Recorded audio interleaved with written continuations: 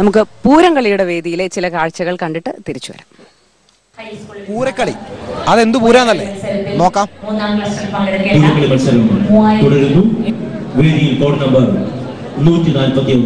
നിക്ക് നിക്ക്.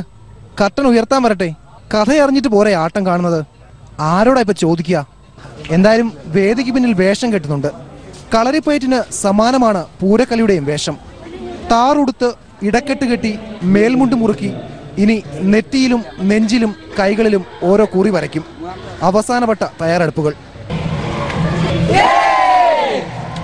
കളി കാണും മുമ്പ് ഇതെന്താണെന്ന് അറിയണ്ടേ?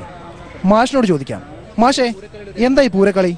പൂരക്കളിയുടെ ഒരു ഐതിഹ്യം എന്ന് പറയുന്നത് ശരിക്കും പറഞ്ഞാൽ കാമദേവനുമായിട്ട് ബന്ധപ്പെട്ടിട്ടുള്ള ഒരു ഐതിഹ്യമാണ്. കാമദേവൻ ശിവന്റെ കോപാഗ്നിയിൽ വെന്തു വെണ്ണീറായപ്പോൾ ശരിക്കും പറഞ്ഞാൽ കാമം എന്നുള്ള വികാരം ലോകത്തില്ലാണ്ടായി.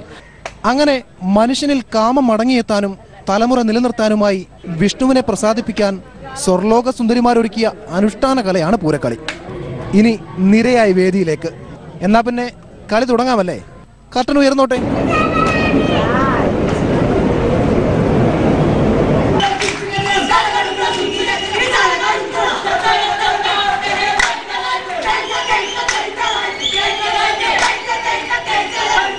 വിഷ്ണു സുനികൾക്കൊപ്പിച്ച് കളരി ചുവടുകളും നെയ്യഭ്യാസവും. പതിനെട്ട് നിറത്തിലാണ് നാരായണ സ്തുതികൾ.